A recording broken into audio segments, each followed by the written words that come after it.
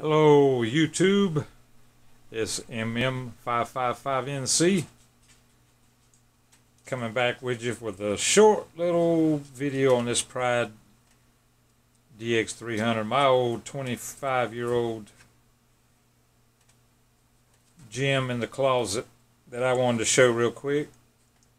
Put a little light on the uh, face of it there, light it up a little bit.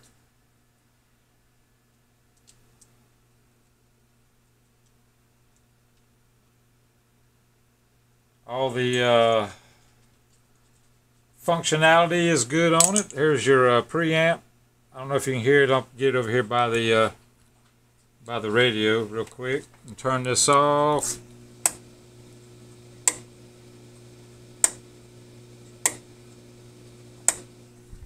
There you go. It's in pretty good shape. I've just uh, considered selling this thing. Thought I'd throw it on here and show around a little bit. I know you can't, you ain't gonna be able to see a whole lot, but it is what it is. Uh, cut that preamp back on. Show the little screen light here. Audio. Audio. Look at the meter. Meter uh, doing this thing too, 100 watt, about 100 watt dead key swinging forward. Hello.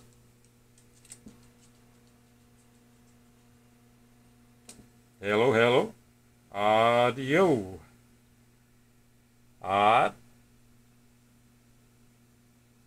Let me go to the output real quick and I'll be done. Hold on. Output's next.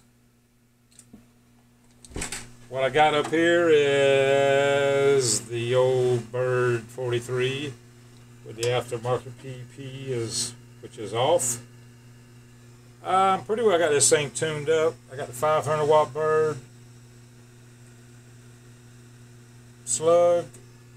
You're looking at the center line. Come back to the amp. Hello. Alright, I got it keyed down. 100 watt dead key. Oh, yeah. Oh, audio. Regular talking, uh, about 300 bird. Oh, you can get up to about 350. I mean, I could probably go through and fine tune it a little bit better, but 350, 3 to 350 right there and about a 25 watt radio. But there it is. There's your fan. Barely hear it. See what if you see anything in that tube when you light fire up. Audio. Audio. Might get some RF. RF in your uh, in your camera lens. Uh, Eminem, you better watch out. I'm going to upload this real quick for a friend, and uh, I appreciate y'all watching. As usual, MM555. I'll catch y'all later.